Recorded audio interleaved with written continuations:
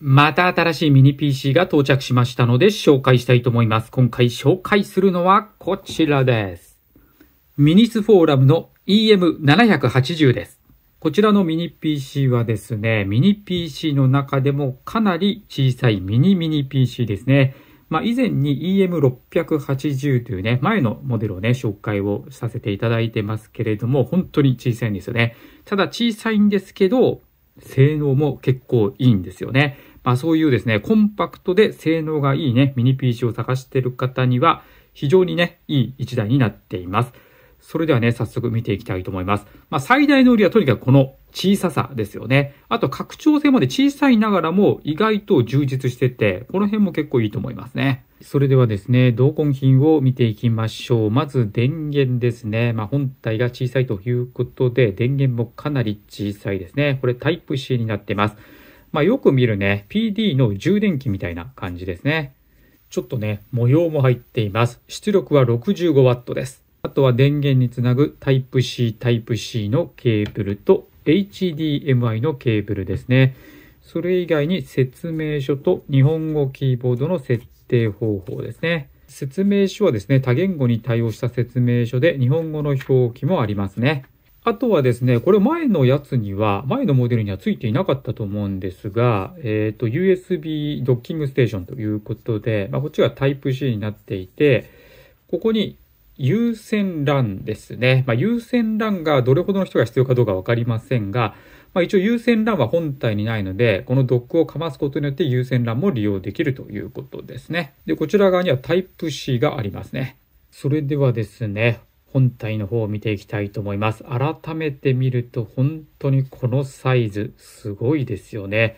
手のひらサイズということで、まあちょっとパソコンにもね、見えないサイズなんですけれども、これでいてかなり性能はいいんですよね。気になる性能ですけれども、CPU は Ryzen 7の 7840U というものですね。GPU は Radeon の 780M ということで、前のモデルから、まあ、CPU はね、パワーアップしたという感じで、性能の方もですね、ミニ PC の中では結構上の方になるんじゃないかなと思います。それではですね、インターフェース関係見ていきましょう。まずこの小さいボディなんですけど、結構ね、ぎゅうぎゅうに詰められていて、意外と充実しています。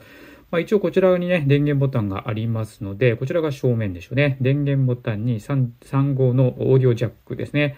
あと USB Type-C の USB4 ですね。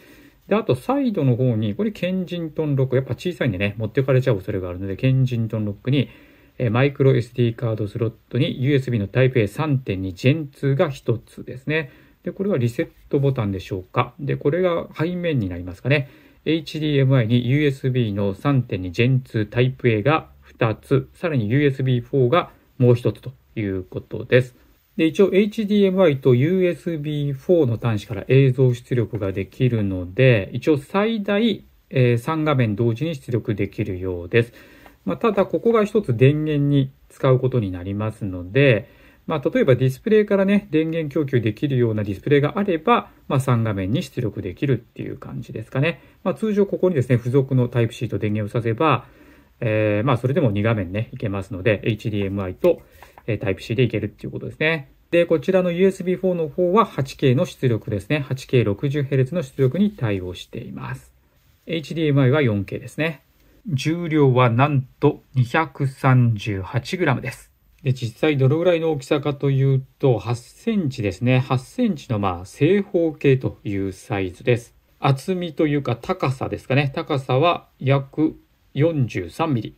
で、こちらの端末はメモリーですね。えー RAM は 32GB です。で、オンボードということで、えー交換とかはできないみたいですね。だから特に、まあ、このサイズなんでね、まあ、特にこう中を開けてストレージをね交換したりとかメモリを交換したりとか、まあ、そういったことは基本的にましない端末ですかね、まあ、説明書にもですねミニスフォーラムの端末はその内部へのアクセスの方法が大体説明書に書かれてるんですが、まあ、この端末については書かれていませんので基本的にはま開けないでくださいっていうことですね。で公式サイトの方でもメモリは 32GB 一択でストレージがね 1TB と 512GB の2つのモデルを販売しています。それでは端末の方が立ち上がりましたので、ハードウェアの確認をしていきましょう。えー先ほども言いましたけど、CPU は Ryzen 7の 7840U ですね。TDP は 28W、8コア16スレッドです。メモリーは 32GB ですね。LPDDR5 です。GPU は、えー、ラデオンの 780M、えー、2GB。ストレージはですね、NVMe の 4× のキングストンの 1TB です。それでは、アイドル状態での消費電力とファンノーと確認してみたいと思います。えー、消費電力の方は、まあ、6W 台から7、8W ぐらいですかね。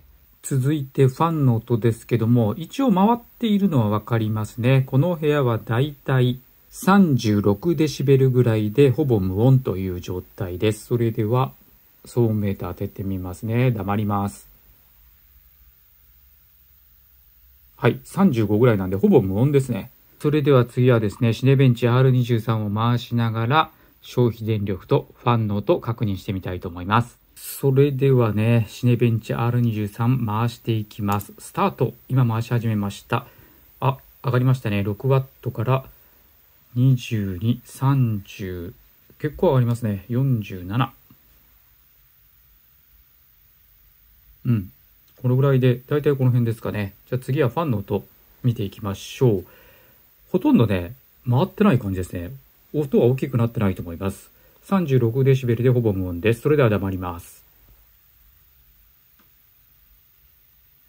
うん。まあ40ぐらいなんで少しやっぱ上がったかなという感じですね。消費電力の方はここ 48W ぐらい 50W 弱です。もう一回黙ってみます。ああ、やっぱでも少し音が大きくなってんのかな？まあ、40から42デシベルぐらいなんで、まあ、先ほど36デシベルだったんで、少しやっぱ、あのね、音はするかなと思います。ただ全然気にならないというか、まあ、少し離れてればもう聞こえないような音ですね。それではですね、シネベンチ R23 の結果が出ました。マルチコアで13,693、シングルコアで1382ということで、普通に性能結構いいですよね。この小さいボディからはちょっと考えられないよね、ちょっと想像できないような非常に高性能なミニ PC になっています。それではね、次はブラウザのベンチマーク、オクタンベンチマークやってみました。スコアの方は7万2000点ということで、まあこちらもですね、まあ非常にいいスコアが出ています。まあ最近のね、えー、高性能なミニ PC だと8万点超えでね、出てきますけれども、まあさすがにそこまでいきませんが、まあ7万点台であれば十分ですね。まあ基本的にこれ有品版のね CPU になりますんで、まあ省電力をね、売りにした CPU だと思います。その性能重視というものではありませんので、まあそれでも十分な性能ですよね。それではスピードメーターですね。同じくブラウザのベンチマークになりますけれども、こちらも296点ということで非常にいいスコアが出てますね。まあ、200点を超えてくれば、もうライトな使い方であればもうサクサクで利用できますね。まあ、特にクラウドサービス、要はブラウザを使って利用するサービスなんかだったら、まあ、200も出てれば十分じゃないかなと思います。で、300いく端末はね、まあ、ちょっとほんと少ないと思うんですよ。まあ、それでも296って言ったらかなりいいスコアだと思いますね。それでは次は、えー、WebGL のベンチマークですね。えー、魚5000匹で60フレーム出てれば、まあまあいいんじゃないですかということですけども、とりあえずじゃあ魚5000匹。えー、ほぼ60ですね。まあ60張り付いてますね。はい、60大丈夫です。それでは1万5000匹。まあこれも大丈夫ですね。まあだから比較的性能がね、高い、えー、ミニ PC、Chromebook だと、まあ、1万5000匹で60は貼り付いているものが多いです。まあ、逆に3万匹、最大3万匹にすると60出るやつはないですね。それでは3万匹。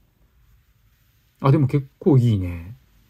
50ぐらい出てますね。49から50ぐらい出てるんで、結構いい方ですね。てかかなりいい方だと思います。まあ本当にね、あの、本体は小さいんですけどね、非常にパワフルです。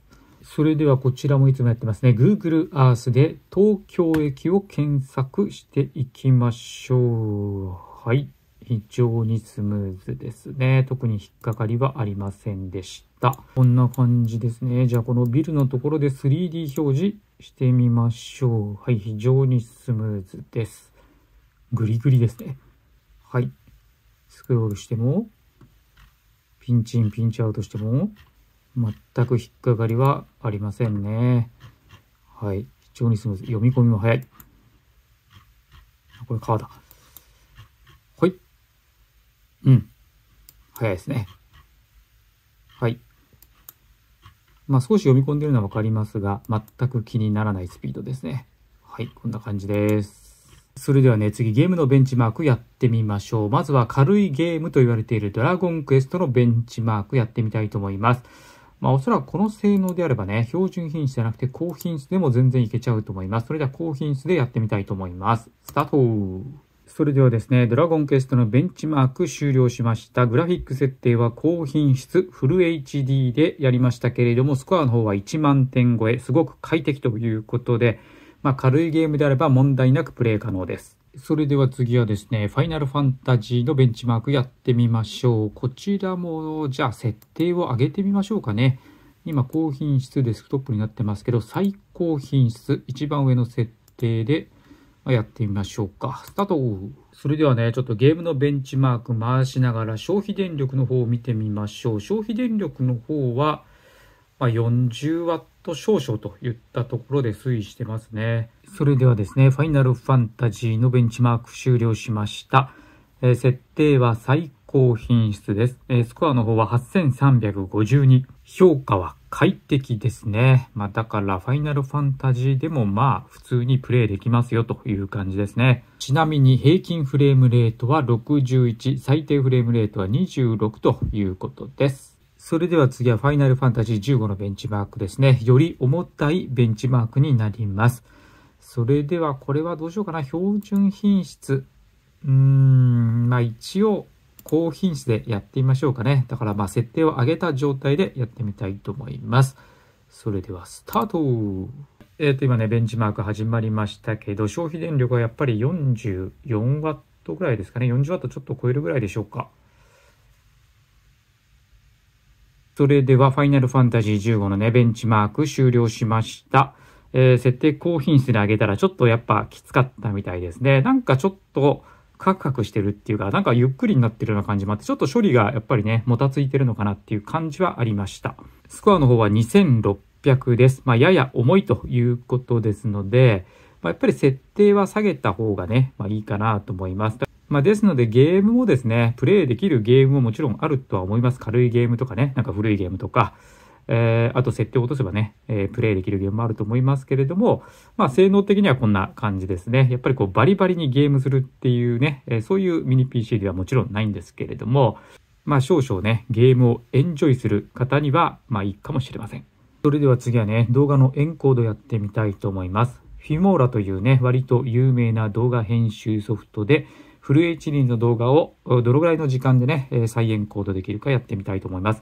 特に編集は入れてません。それではね、エンコードしていきたいと思います。えー、GPU はオンにしています。それでは、せーの、スタート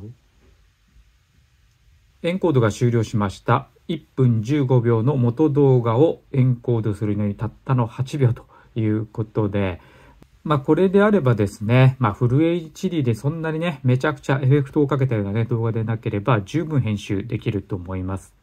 それではストレージのスピードテストやってみました。シーケンシャルリードで4500、ライトで4600ということで、まあ普通に速いですよね。まあミニ PC だったらもう十分のスピードじゃないかなと思います。それではですね、一連のベンチマーク終了しましたので CPU の温度見ていきたいと思います。え、最大43.8ですね。サーマルスロットリングは入っておりません。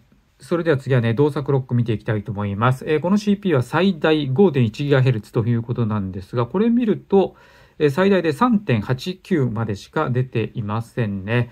まあ、ちょっとね、これはどうなんでしょうね。だいたいこういうベンチマークすると、やっぱ近い数字が出てる端末が多いんですけれども、この端末は、ちょっと控えめといったところです。一応ベースクロックは3.3ということです。ということで今日はですね、ミニスフォーラムの超ミニなね、ミニ PC EM780 紹介させていただきました。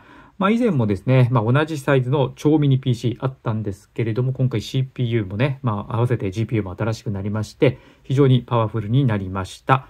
非常にいい端末ですね。まあ、まずサイズがめちゃくちゃ小さくて軽量というところで、かつ性能もそんなに悪くないし、USB4 がついてるということで、まあ今ですね、USB の Type-C がついていれば割と何とでもなっちゃうかなというところもありますので、USB4 がね、2つあるというのは結構心強いかなと思います。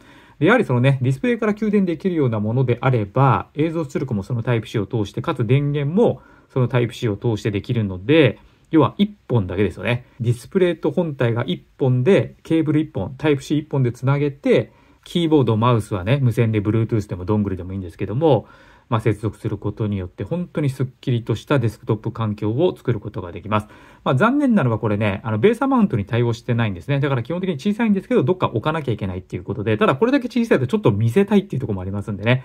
まあ、それぐらいね、小さくて可愛いミニ PC になってるんで、まあ、全体的に非常にいいですね。あとファンの音も静かなので、個人的には非常にいい端末だと思います。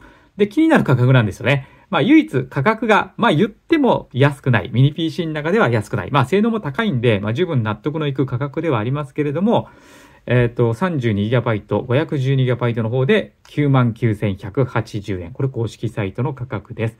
で、まあ、1テラの方でも1万3000、あ、10万3980円ということなので、まあまあ、10万円前後という価格ですのでね、まあ、性能を考えれば、まあそんなに高くもないし、これだけ特殊な筐体になってますんでね、まあその辺を考えれば、まあ価格的にもね、十分メリットはあるんじゃないかなと思います。まあとにかくですね、小さいミニ PC、あるいはね、持ち運びも考えているのであれば、これぐらい小さくてもいいんじゃないかなと思います。購入先については動画の説明欄にリンクを置いておきますので、そちらの方から確認をしてみてください。はい、今回は以上です。